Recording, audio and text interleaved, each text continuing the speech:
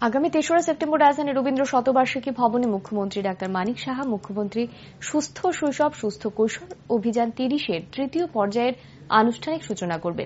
আজাদী কা অমৃত মহোৎসব উপলক্ষে এই অভিযানের তৃতীয় পর্যায়ে সারা ত্রিপুরা রাজ্যে যে অভিযান শুরু করতে যাচ্ছে, সেটা আগামী পাঁচই সেপ্টেম্বর থেকে আগামী পনেরোই সেপ্টেম্বর অবধি এক নাগারে চলবে। বৃহস্পতিবার এক সাংবাদিক সম্মেলন করে এই কথা জানান জাতীয় স্বাস্থ্য মিশন অধিকর্তা সুভাষিস দাস। এদিন জাতীয় স্বাস্থ্য মিশনের অধিকর্তার কার্যালয়ে এই সাংবাদিক সম্মেলনের আয়োজন করা হয়। সুস্থ অভিযান, যেটাকে আমাদের কাছে পরিচিত নাম হচ্ছে মাস্কা তার যে তৃতীয় পর্যায়, সেটা রাজ্যের মাননীয় মুখ্যমন্ত্রী আগামী তেসরা সেপ্টেম্বর রবীন্দ্র ভবনে আনুষ্ঠানিকভাবে উদ্বোধন করবেন। আজাদিকা অমৃত মহোৎসব উপলক্ষে এই যে মাস্কা তৃতীয় পর্যায়ের আমরা সারা ত্রিপুরা রাজ্যে অভিযান শুরু করতে যাচ্ছি, সেটা সেপ্টেম্বরের পাঁচ তারিখ থেকে পনেরো তারিখ অবধি এক নাগারে চলবে।